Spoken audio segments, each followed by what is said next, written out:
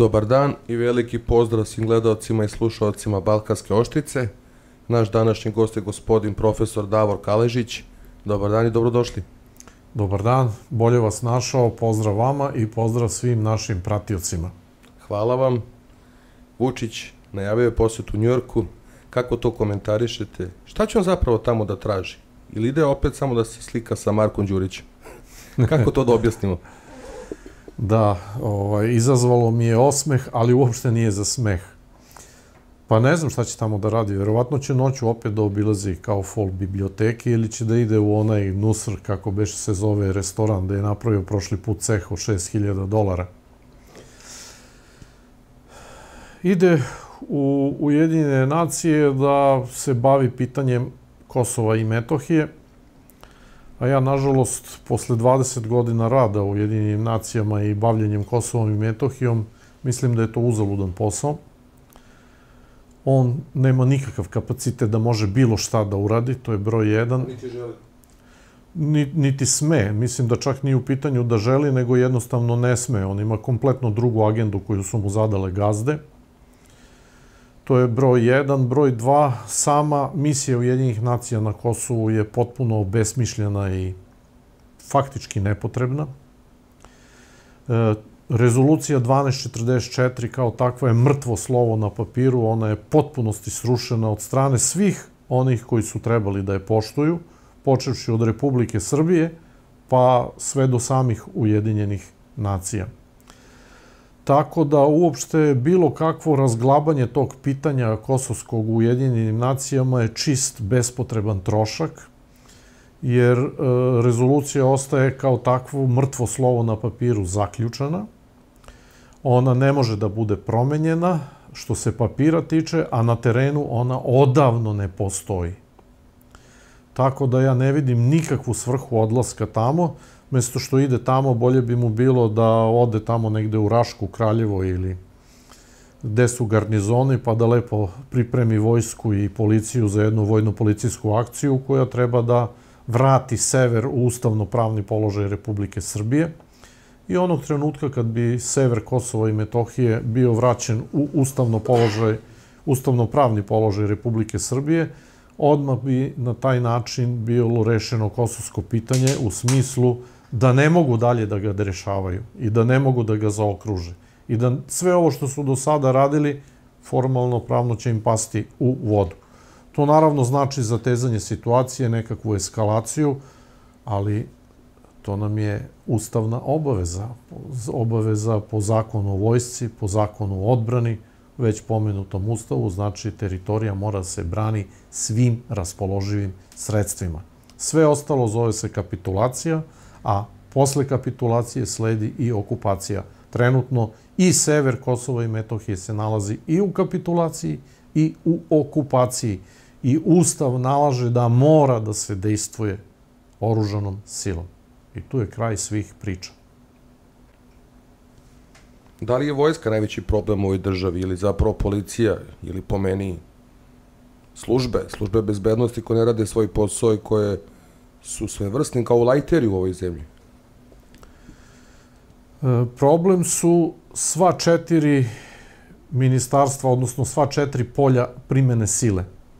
Već pomenuta vojska, koja je izgubila sve ratove koje je vodila do sada i koja je prouzrokovala neverovatne kapitulacije, egzodus srpske populacije, uništenje imovine, poniženje, istorijski debakli jednom rečju i to i dalje nastavlja da radi. To je što se vojske tiče. Što se policije tiče, kao drugog elementa ministarstava sila, policija je potpuno stavljena pod komandu i kontrolu stranih obaveštenih službi i mafije prvenstveno. Tako da vi danas možda imate tri ili svega četiri policajca, znači na prste jedne ruke možete da prebrojite ljude koji su profesionalci, pošteni poznavaoci i radnici svog posla, od kojih je čak jedan nemilosrdno ubijen, inspektor Jović, tako, baš zato što je bio vrhunski profesionalac. Ova druga dvojica, Milić i kako se zove ovaj drugi, su sada procesuiraju ih. I treći, odnosno četvrti je bio Dumanović, koji je ponovo na silu vraćen u policiju, ne znam, mislim da je raspoređen negde u Bestragiju, teraju ga faktički da da ostavku tamo negde u Kovačici ili tako nešto, ali on još uvek odoleva. I sva ostala policija ne zaslužuje da bude policija. Oni moraju hitno biti rasformirani kada dođe do promene vlasti. Kompletna policija mora da dobije otkaz. Da bude razjurena, razbijena u param parčad i da se uvedu e, da se uvede narodna milicija, jer ne može da se ostavi bez ikakve vlasti. Znači, narodna milicija mora da izađe na ulice i da u prelaznom periodu do pravljenja nove vlade i do rekonstrukcije kompletnog pravosudnog sistema koji je treća linija primene sile koja je potpuno uništena. Znači, jednostavno mi moramo da izvršimo vertikalnu i horizontalnu, apsolutnu lustraciju svih parametara sile, vojske, policije, pravosuđa i u okviru policije i vojske svih službi bezbednosti. Jer vi sad imate situaciju da je policija zapravo produžena ruka mafije. Vi nemate poštenog policajca u Republici Srbiji, osim ovih par navedenih slučajeva. Jer da ih ima, oni bi izašli na ulicu. Ili bi se neko od njih oglasio na nekom mediju. Ili bi napravio neko saopštenje, rekao ljudi ovako ne može dalje. Ali ni jedan se nije pojavio.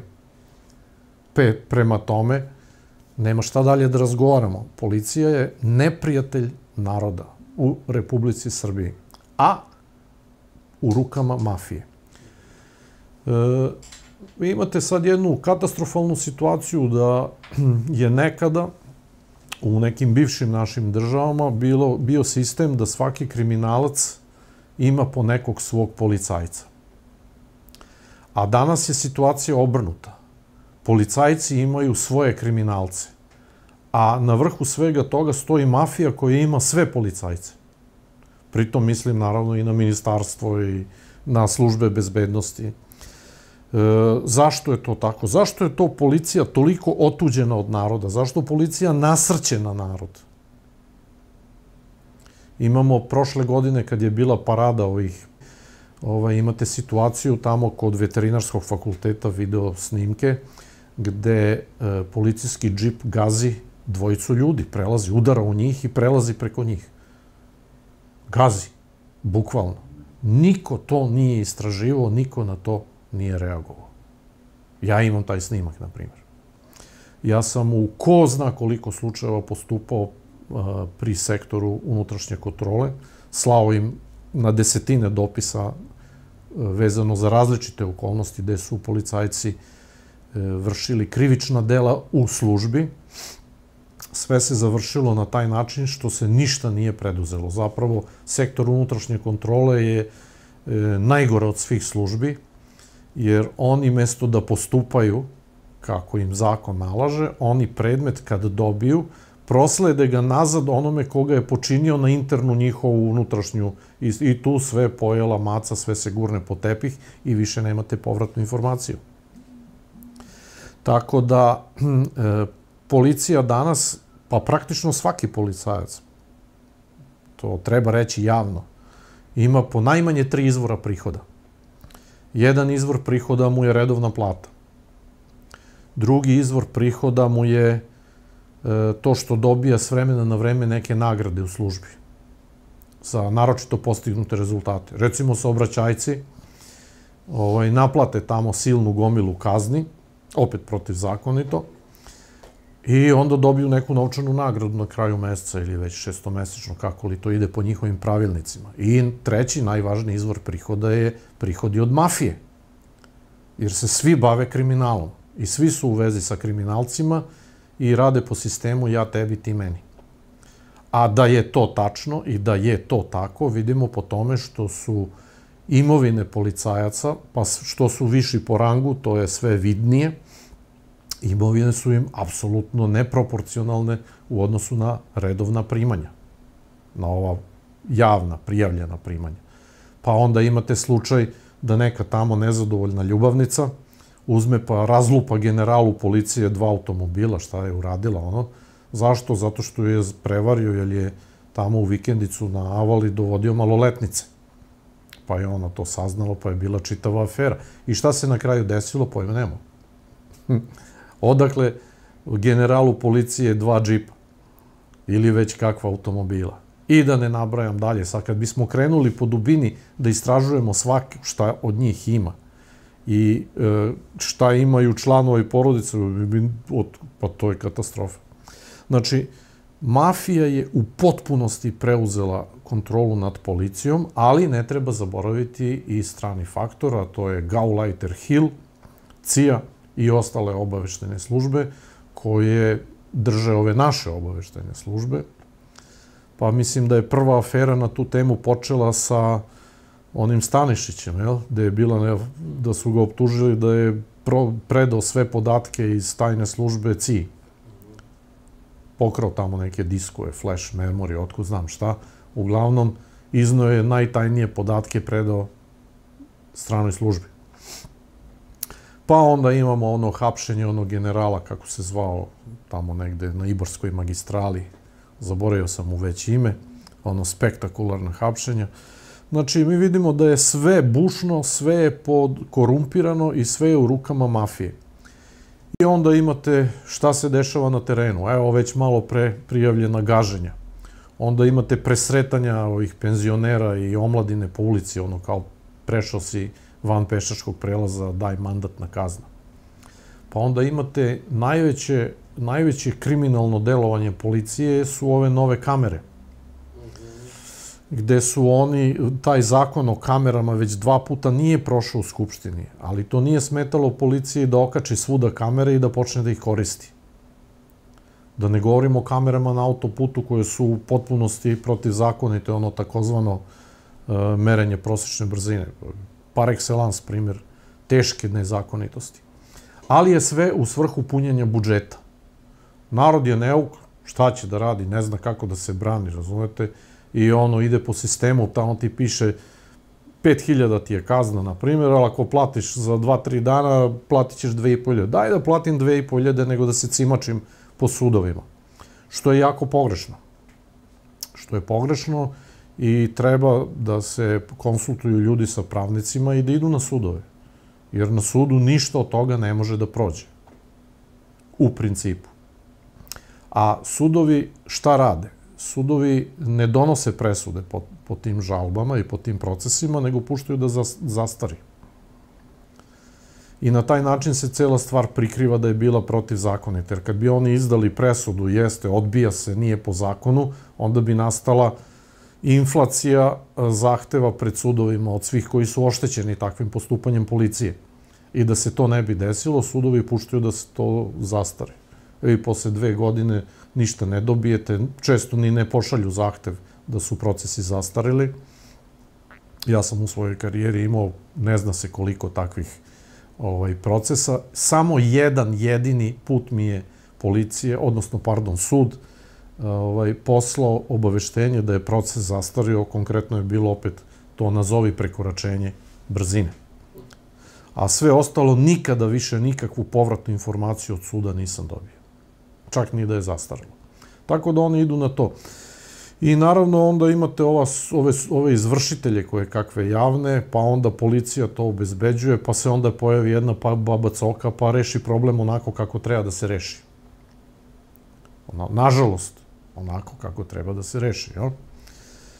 Tako da e, narod u Republici Srbiji, svi građani se nalaze u izuzetno teškom položaju, Oni nemaju nikog ko može da ih zaštiti, kako ovde, da je nazovemo u ovoj centralnoj Srbiji, tako pogotovo ne u pokrajinama, u obe pokrajine, jer kao što znamo i vidimo svakodnevno, migrantski teror polako, ali sigurno se razvija u Vojvodini i građani Vojvodine takođe nemaju više normalan život.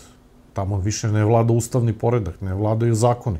Tamo vlada E, vojska Alahova, kako se zove, džihad. To je katastrofa jedna. Ova Kosovo već da ne pominjemo, jel? To vidimo šta se dešava svakodnevno. I šta je tu u pitanju? U pitanju je vrlo prosta stvar.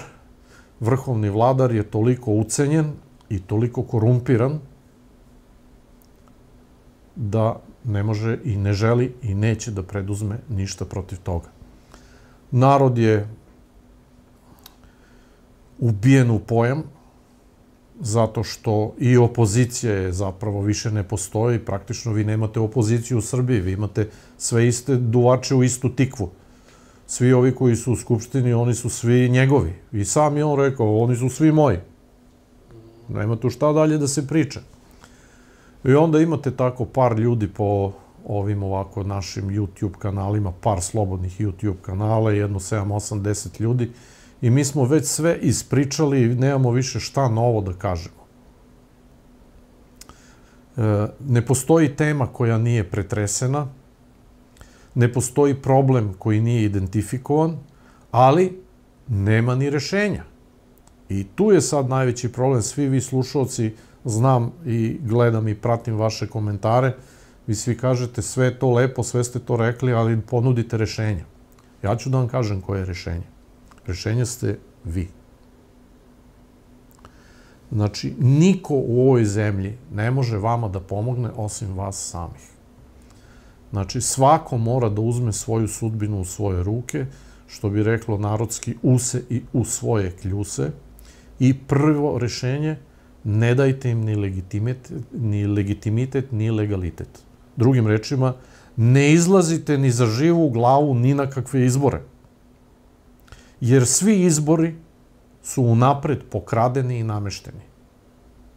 Nemojte da se zanosite da se izborima nešto u Srbiji može promeniti.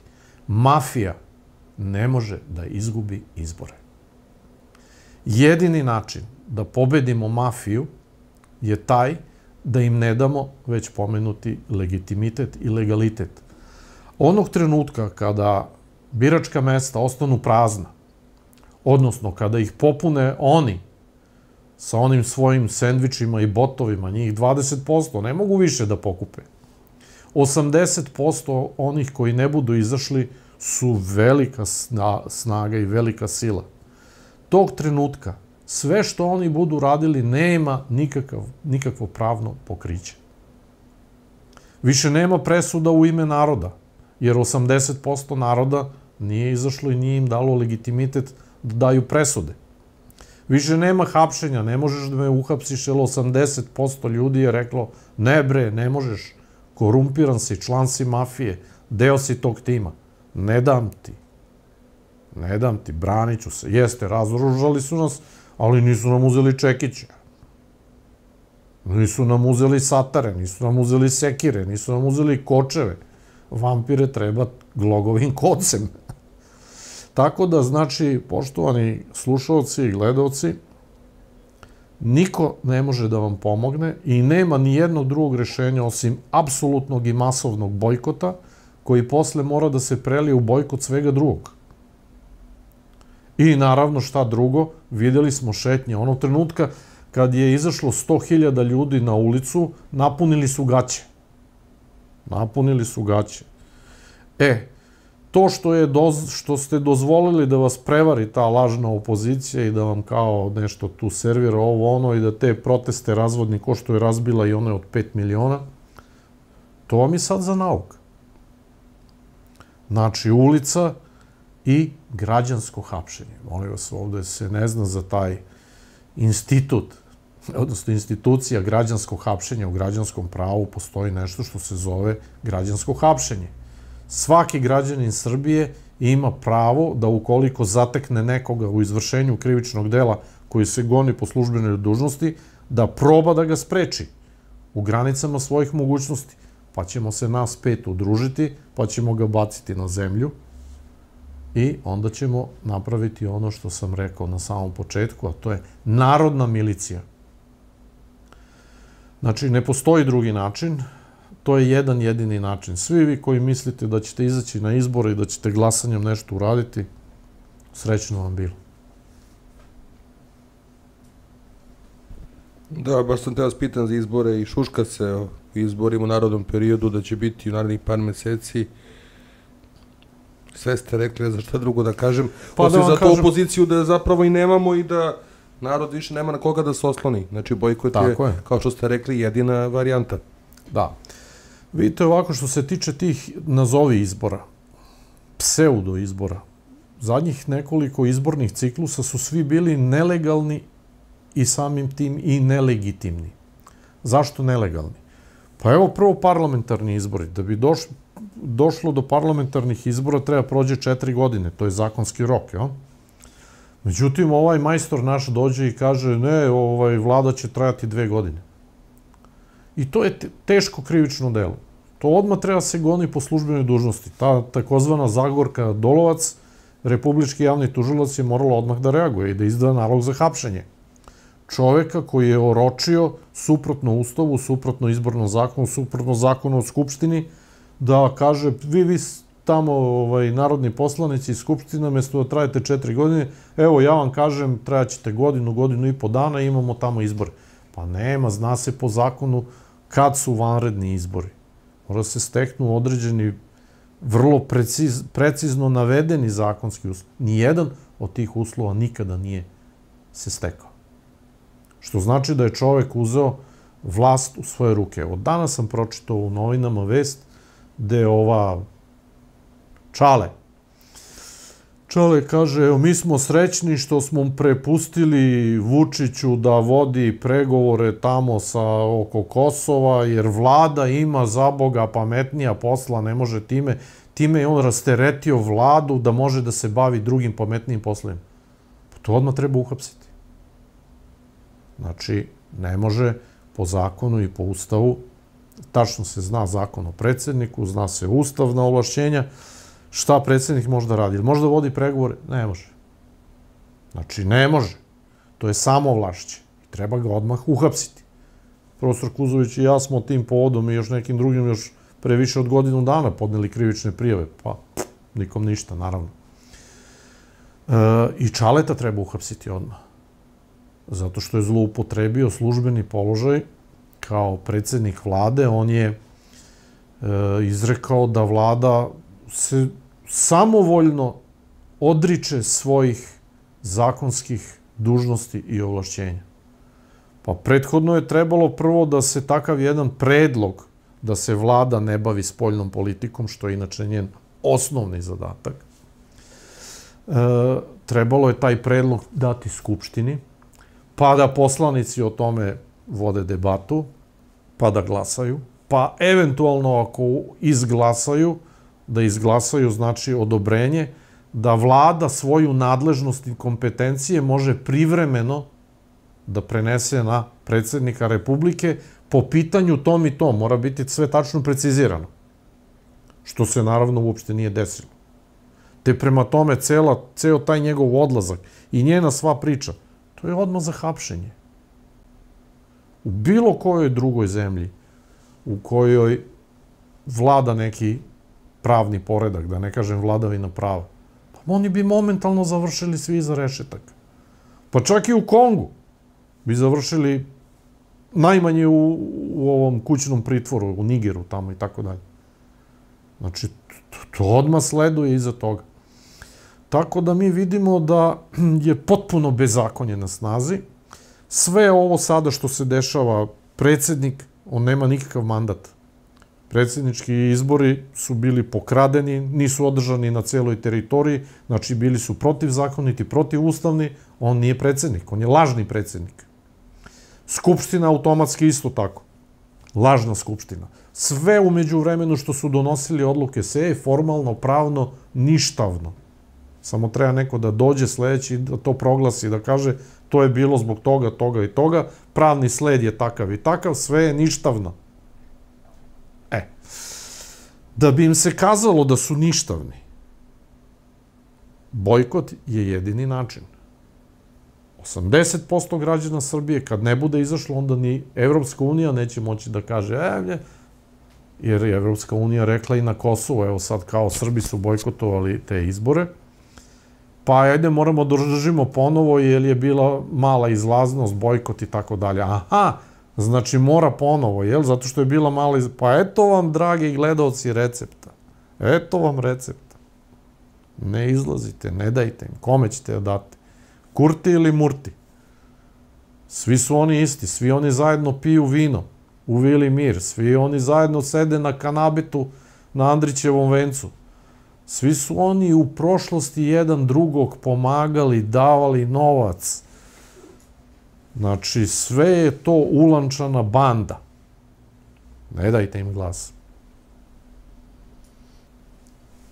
Kad sam razgovarao sa profesorom Kuzovićem, on je kao ideju dao da se oformi nešto poput Wagnera kod nas u zemlji.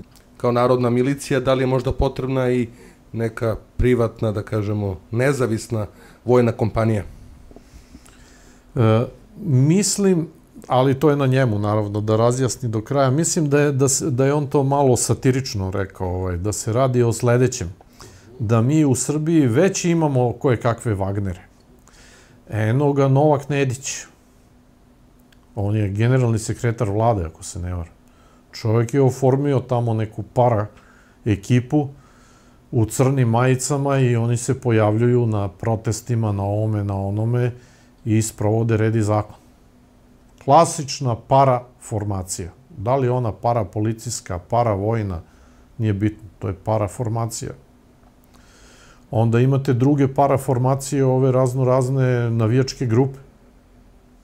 To su vam isto neke paraformacije. Eno ga Beli Vuk nešto se nije sa njima dobro istalio u nekom momentu i onda su ga malo primirili. Ali sa druge strane postoje još druge vođe, drugih navijačkih grupa. Pa ko to kontroliše? Šta oni kao sami od sebe? Pa ne, to je sve pod državnom kontrolom. Da li to kontroliše BIA ili CIA ili ne znam ko, sasvim svejedno. Znači, mi u državi imamo para, uh, para, para policijske i para vojne snage. To se videlo na gomilama protesta, gde policija stoji metar dva iza i pušta ove sa čekićima da rešavaju red i mir. Pa imali smo tamo gde u Šapcu, gde beše ono sa buldožerom, oni, to su isto parapolicijske snage koji su krenuli sa čekićima na narod. E, zato sam ja malo pre rekao, pa i narod treba da uzme čekiće pa udario tuk na luk, što bi rekla ona naša narodna. Znači, mi ovde imamo gomilu Wagnerovaca i odmah da ne bude zabude, svi su oni plaćeni. Pa imate još e, administrativne Wagnerovce. To su ovi botovi. Izašao je spisak od njih koliko? Desetak hiljada. Pa šta su oni? Oni su isto svi plaćeni. Plaćeni su da ovaj, rade to što rade, a to je najpogrdniji, najodvratniji posao koji postoji na ovom svetu i oni su isto Wagnerovci. Tako da mi u Srbiji imamo zaista nekoliko Wagnerskih formacija i s tim u vezi da, pa treba i narod da formira, ali ne Wagnerovski, nego narodnu miliciju. Narodnu. Svi se u ovoj Srbiji bore, ne znam, za Evropsku uniju, za Rusiju, odnosno, ne znam, EU, BRICS, ovo, ono. Ko se bori za Srbiju? Pa dajte narode da se borimo za Srbiju.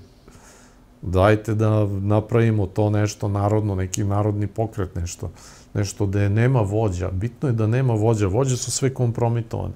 Svako od vas je vođa. Znači, svako od vas treba da bude svestan da onog trenutka kada izađe na ulicu, on postaje snaga. 100.000, videli smo kako izgleda.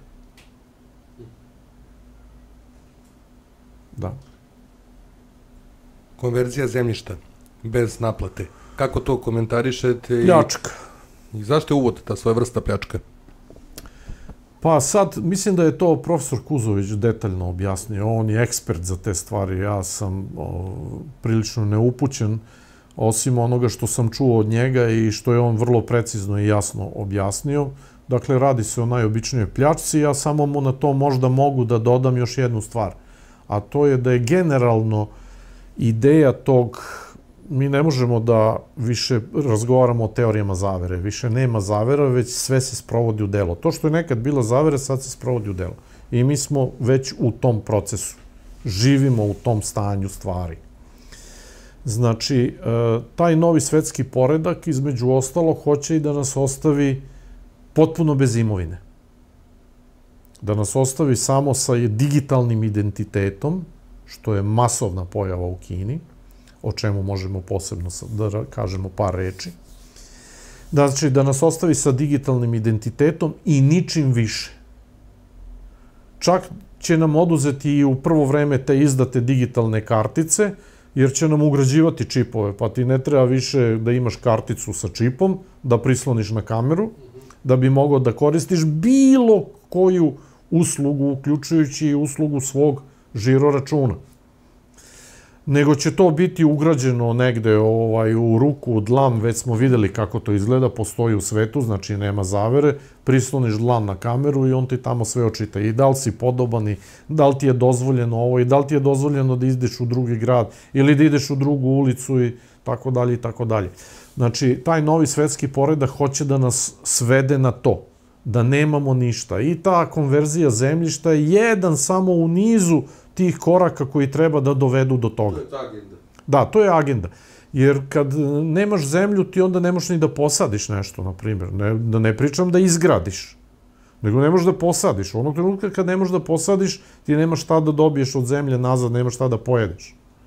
Onog trenutka kad nemaš da pojedeš, ti sa digitalnim identitetom ideš tamo na kameru da ti kamera proveri koliko si podoban i koliko možeš tog dana da pojedeš pa će ti izdati da može samo jedan paradajz. Jer umeđu vremenu će ti izmeri dužinu, odnosno visinu i težinu, pa će da ti izračuna indeks telesne mase, pa će da ti kaže tebi za to danas sleduje dve čaše vode i jedan paradajz i to ti je zdravo doviđenja.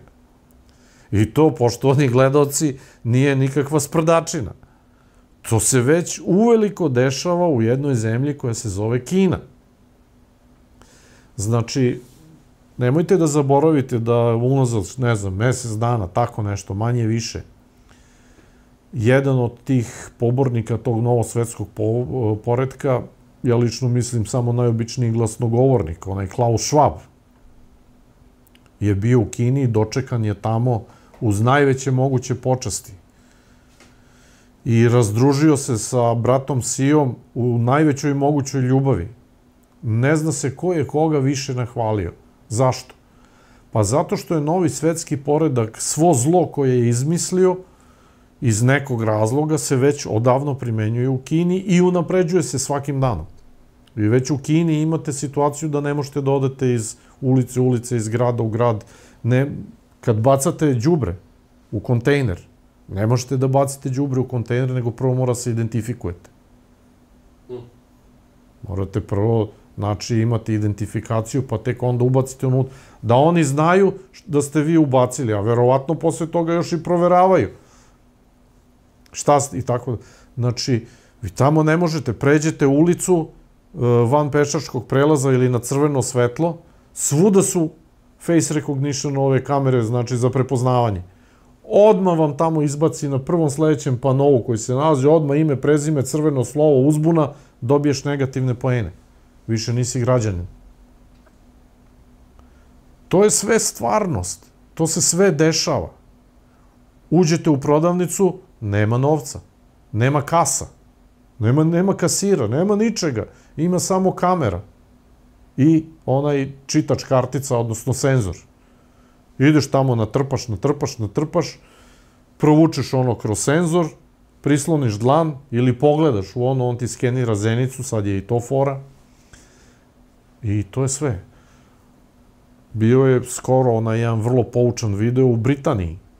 Iz Britanije nam dolazi, gde su uvedene prve digitalne prodavnice. I čovek ušao unutra, natrpo sve i kaže, ja nemam to sve, evo vam novac. Ne može. Došla policija da ga uhapsi jer je hteo da plati. Kešom. Ne može. Kaže, on ostavio keš čovek lepo izračunao u peni koliko je ovaj to sve što je potrošio i stavio tamo pored automata, izašao napolje, fr, murija na njega. Kapsi, zašto ukrao si? Kako sam ukrao enoga novac tamo? Ne, ne, ne, kamera kaže da si ukrao, ajde. Znači, to je ta agenda, to je to zemljište, to, je, to su automobili, to je sve. To je zdravstveni karton, to je putovanje, to vam je žiro račun, to vam je voda i hrana. Socijalni rating.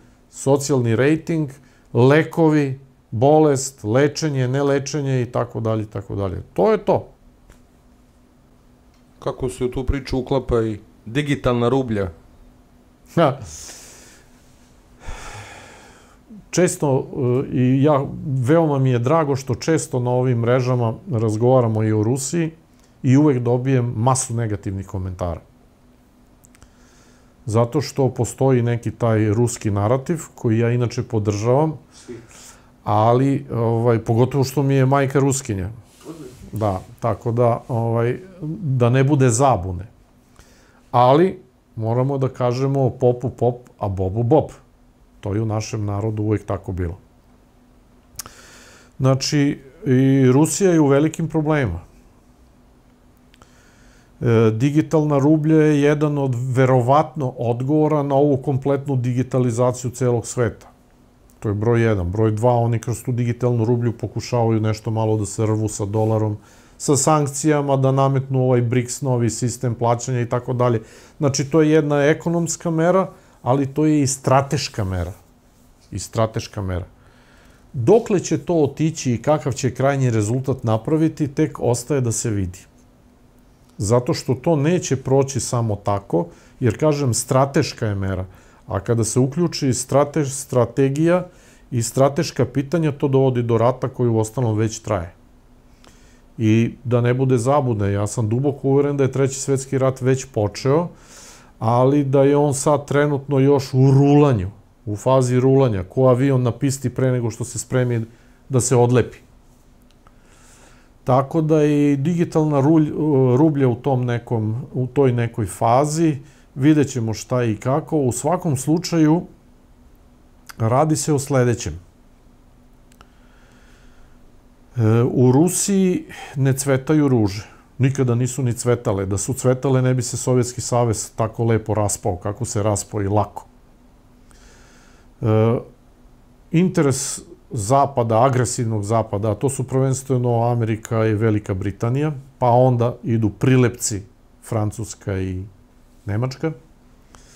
Znači, ova, ove dve glavne agresivne sile, kolonizatorske sile, žele da unište Rusiju. Otkad je sveta i veka oni žele da je unište. Uništili su Sovjetski savez, to je bio prvi korak. Krenuli su da uništavaju Rusiju i boga mi su je žestoko rascopali već bili, dok se nije pojavio Putin. Onog trenutka kad se pojavio Putin, on je sad stavio, povukao im je malo ručnu. Međutim, škripi, škripi i ručna polako popušta, opterećenje je veliko, točkovi rulaju, rulaju, rulaju, deru one pakne i pitanje je kad će ta ručna popustiti. A da ručna popušta ima dosta pokazatelja. Mi unazad godinu dana imamo 40-50 zagonetni smrti. I to smrti ozbiljnih ljudi, ne samo tajkuna, nego i naučnika i ovih i onih. Da ne pominjemo... I heroja, da. Da ne pominjemo sad u ovu aferu koja je još jedan od znakova da tamo debelo nešto ne štima sa Prigožinom. Uopšte ne ulazim u to da li je živ ili nije živ. Samo kažem jednu stvar. Ozbiljna afera. Ozbiljna afera. Imate tamo tog Šojgua, imate Eto, to sam sad saznao, nisam, iskreno govoreći, nisam znao da ima nekoliko paravojnih formacija osim Wagnera, odnosno privatnih e, kompanija oružanih ili već kako li to ide. Da i Šojgu sam ima neku privatnu kompaniju. Mm -hmm. I još ne znam koji drugi. I da. Gazprom. I Gazprom, znači, iskreno govoreći, stvarno nisam znao. Tako da vidimo da je tu situacija prilično kritična. Rusija iz naše perspektive je bratska zemlja.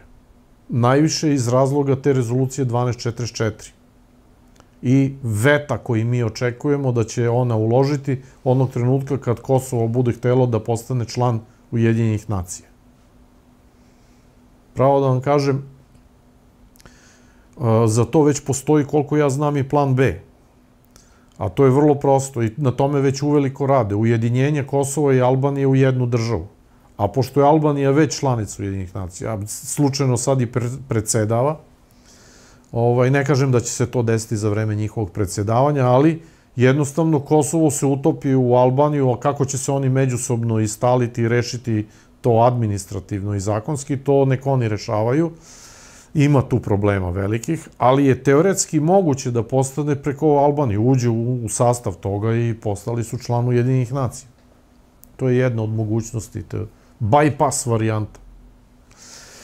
E, znači, tu je u pitanju to što Rusija štiti naš interes, međutim mi vidimo da se udaljavamo od Rusije sve više i više, svakog dana ovaj uvodi neke nove sankcije i uopšte gledano tu nema neke, bog zna kakve ljubavi. Pričamo mi o velikoj bratskoj ljubavi, pa nije baš tako bilo kad je kad je Hrvatska proglašavala nezavisnost, prva druga zemlja, čini mi se Rusija bila da je priznala njihovu nezavisnost. A pre toga im je slala naoružanje. Slala im je naoružanje. Ima čak tamo i na internetu neki slika, pa se svi pitaju, a gde su nestali sad? S-300. Isporučeno im je navodno S-300. Kažem navodno. Treba to iz, istražiti, da. Slike postoje. Sad, danas sa ovom ali tad nije, još nije postojala ta um, ova artificial intelligence, da ti možda napraviš šta hoćeš, sad staviš ovde mene, staviš glavu ne znam koga tigra i tigar priča koja, znači, ne može više da se provali. Sad, digitalno može da se namesti svakome sve. Ne postoji način da se zaštitite. I to je još jedna od tih propasti novog svetskog poredka, gde on tebe može da ti napravi da si izvršio ubistvo tamo, ako ima neki bilo kakav snimak sa videokamere, bilo čije, on izbaci lik onog tamo, stavi tvoje i ti si završio karijeru. To je sve moguće, to se dešava. Znači, e, Rusija je u tim velikim problemima i ušla je u treći svetski rat. Oni se na njoj i sa Ukrajinom neće zaustaviti. Evo, sad im otvorio Azerbejdžan, sutra će im otvoriti Poljsku, prek sutra Litvu, Litvaniju, Finsku, ma znači imaju oni pacijenata za trošenje onoliko. Čak i Kinu u nekoj perspektivi. Da, Kina je apsolutno trenutno, izvinjam se ovaj, što ću možda razočarati nekog naših gledalaca, ja tvrdim da je Kina trenutno najveće svetsko zlo. Najmaligniji svetski uticaj koji postoji je uticaj Kine. I uopšte naše vezivanje sa Kinom je strateška, nepojmljiva greška. To je moje lično mišljenje a malo pre sam vam rekao zašto sve to. Znači, od Kine treba bežati 100 km, a ne, nemate gde da pobegnete. To u narodu se kaže beži 100 km odatle. Nemate. Znači, to je velika strateška greška. Ali da se vratimo na Rusiju. Znači, potrošnog ratnog materijala, tuđeg, Amerika i Engleska imaju koliko hoćeš. -hmm. Imaju koliko hoćeš. I oni će to iskoristiti. Oni će mrcvariti Rusiju do poslednjeg, ne znam čega, do poslednjega ovaj, Ukrajinca, to već znamo, a verovatno i do poslednjeg Poljaka. I tako dalje, i tako dalje. Otvaraće im žarište za žarištem. Ne žele da prestanu. I zato ja kažem treći svetski rat, jer uh, mi glupe slovenske duše, naivne, Mi uvek sve gledamo kao daj da se nešto nagodimo, daj da se pomirimo, daj da nešto razgovaramo. A sve to Zapad smatra slabošću. Onog trenutka kad ti njemu ponudiš neke pregovore, on odmah kaže, u, ovaj je slabić, zgazi ga. Znači, nije ona fora pruži ruku, izvadi ga iz bunara, nego vidiš da to gurni ga nogom, nek potone do kraja. To je njihov sistem. I treba se najzad opametiti, ja ne znam koliko će vremena trebati tom Putinu ili posle Putina, ko bude došao, jer ja mislim i ovaj rat će trajati i posle Putina. To je neprestano. Znači, oni imaju samo jednu jedinu agendu. Uništiti, rasparčati Rusiju i uzeti sva bogatstva. I to je kraj svih priča. Znači, kada ti znaš to, ako znaš, valjda taj čovek to zna, ti više s njima nemaš šta da razgovaraš. Vi šta ti rade? Razlačete. Ti praviš neki BRICS, ovo, ono, praviš neki savez sa Indijom. Indija se ne trpi sa Kinom, malte ne u ratnom stanju su. Ti praviš tu neki, Kina je, Kina će ti zabiti nož u leđa dok okreneš, dok se ovako pomeriš, eto ti noža u leđima. Kroz jedan, što bi rekao. Da. Znači, ti praviš neke saveze sa nekima koji su vrlo sumnjivi saveznici. Iran, Irak, ovamo Afrika, ovo ono, sve je to klimavo, on to pokušava nešto da uradi, svaka njemu čast, da pokušava, ali, da, ali, druže, dok ne pritisneš crveno dugme, nema rešenja. Znači, nema rešenja za novi svetski poredak osim crvenog dugmeta. Pa, kom oba, opanci, a kom obojci? Tih 5-6 milijardi ljudi koji je novi svetski poredak predvideo da ubije zaprašivanjem, glađu, digitalnim ograničenjima i da ne nabrajam čime sve vidite ova oružja, požari masovni, masovne poplave, znači tih 5-6 milijardi koje su oni namerili da ubiju ovako, da bi oni ostali da vladaju. Pa bolje je da tih 5-6 milijardi izgine u jednom sveopštem apokaliptičnom atomskom ratu, jer i ti koji nam to nameću će isto tako stradati i neće ih više biti. Pa ko preživi, počeće od nule, ali će početi normalno. Koliko toliko u tatim okolnostima. Ali neće više biti svega ovoga. Neće biti satelita, neće biti digitalnog, neće biti... Neće biti. Biće glad, biće ovo, biće ono, ako preživi, preživeće. Isto sam par puta tako nešto rekao, pa ti si lud, onda mi kažu želiš nuklearni rat, pa rekao da, to je jedin način da će i oni i mi da nadrljamo. Ovako ćemo samo mi nadrljati svakoj drugoj konotaciji.